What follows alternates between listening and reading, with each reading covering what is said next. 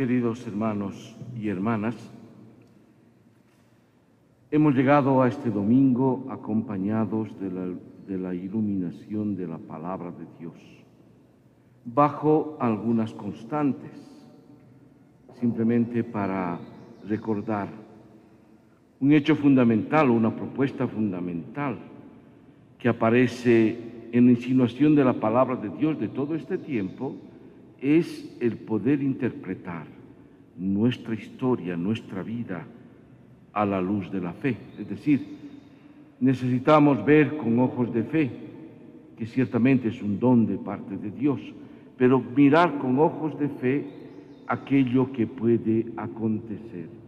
Así como ha aprendido el pueblo de Israel a interpretar su historia, por tanto, nos toca también a nosotros, dentro de esta luz de la fe, interpretar nuestra propia historia y descubrir hacia dónde tenemos que caminar.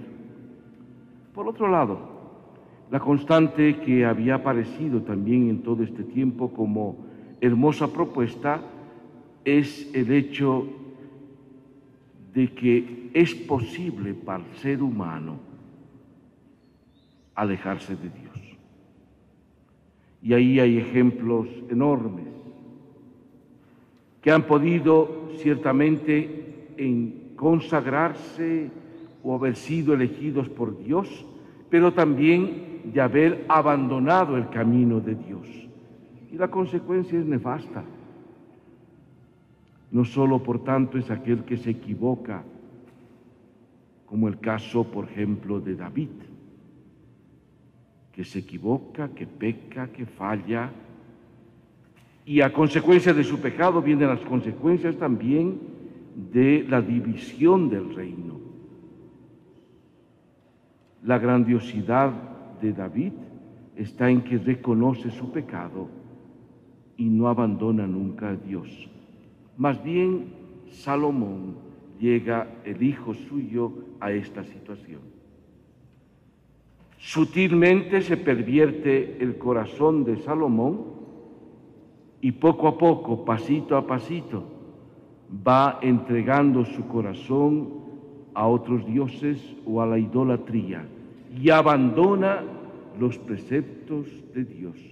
Por eso al final la consecuencia total es esta división de los dos de los doce reinos, prácticamente en dos, es gran cisma el gran problema de allí. Bueno, queda aquí como latente algo constante de propuesta que nos dice la palabra. Pese a haber elegido también el camino de Dios, es posible abandonar a Dios mismo. Es posible abandonar sus preceptos. Por eso, atentos, atentos. Hoy se nos presenta ya lo más en el inicio de la palabra de Dios, se nos presenta el que elijas o la muerte o la vida, o el fuego o el agua, casi como dos propuestas, es decir, existe la libertad del ser humano de permanecer también en Dios o alejarse de Él. Existe la libertad de rechazar a Dios o más bien caminar entre sus preceptos. Existe la posibilidad y la libertad del ser humano de elegir el amor y no el odio. Existe en la voluntad del ser humano la capacidad y la posibilidad de rechazar la vida y ofrecerse a la muerte.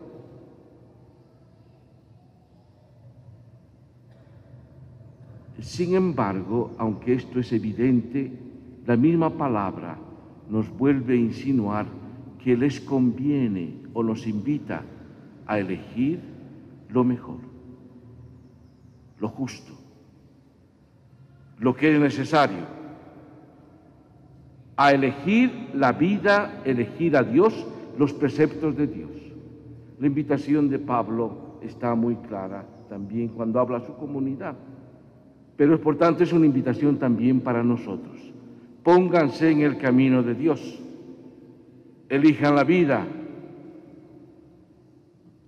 Tú tienes la posibilidad de rechazar a Dios, cierto, pero te invita la palabra, el más, el Señor te invita a elegir la vida, de ponerte en el lugar justo donde corresponde. La invitación, por tanto, también viene a nosotros. Es mejor estar en los preceptos de Dios, es mejor vivir en los caminos del Señor, es mejor elegir la vida, elegir a Dios. Por eso el Evangelio creo que es fenomenal para nosotros también hoy. Jesús está, no olvidemos, hablando a la multitud. Está en la montaña, anunciando el Evangelio. No olvidemos que los que los escuchan son gente ansiosa de escuchar la verdad. Son las multitudes que tienen a lo mejor también un montón de oscuridad o de pecado. Son los necesitados que se han puesto a escuchar al Señor o son los discípulos del Señor que tienen la predisposición de escucharlo.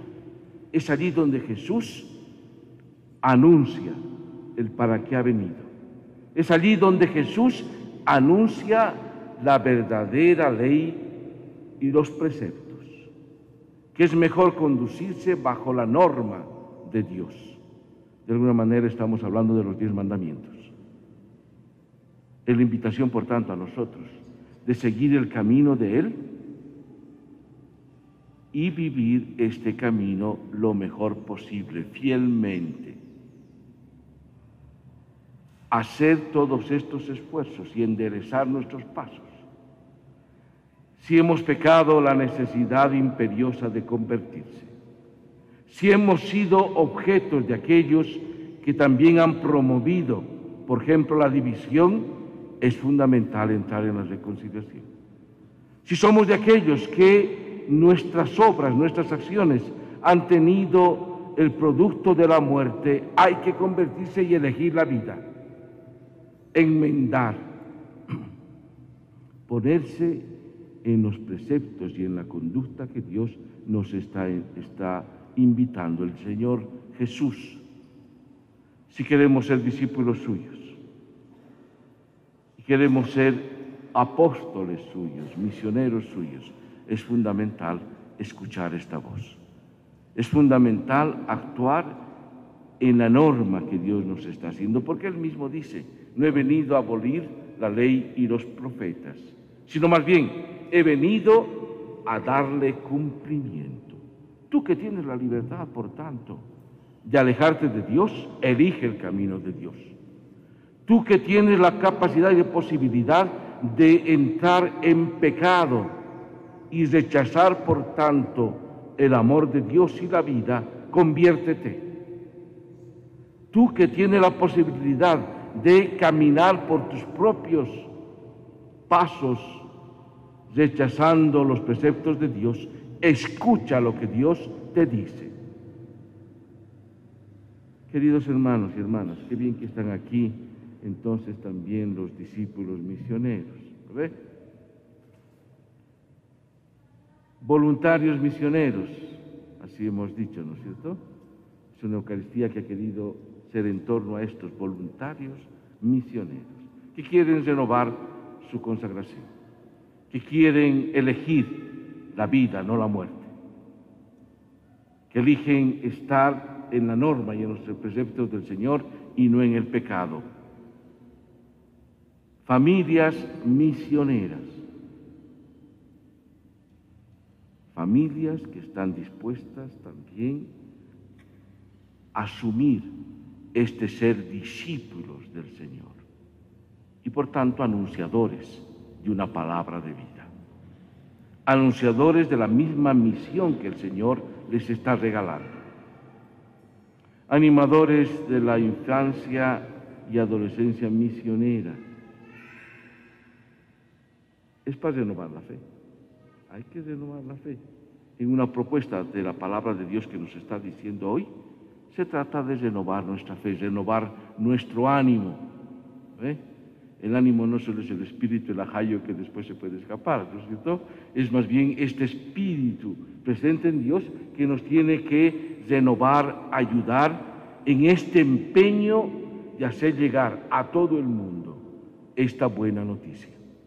Porque aquí está lo hermoso también de la palabra de hoy. Esta palabra está dirigida a todos, para que todos se sientan involucrados en esta salvación que el Señor nos está dando. Les invito pues entonces a coger esta palabra de manera muy particular y también no solo personal, sino comunitariamente.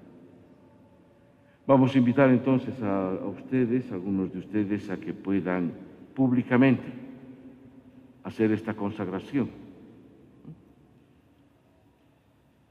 Es bueno este paso que estamos haciendo, es fenomenal, porque ya lo hacemos mes públicamente, como decir, yo opto por este camino, opto por Jesús, me consagro a este anuncio que Él nos está dando, me consagro como discípulo suyo, para luego ser anunciador de esta misma palabra.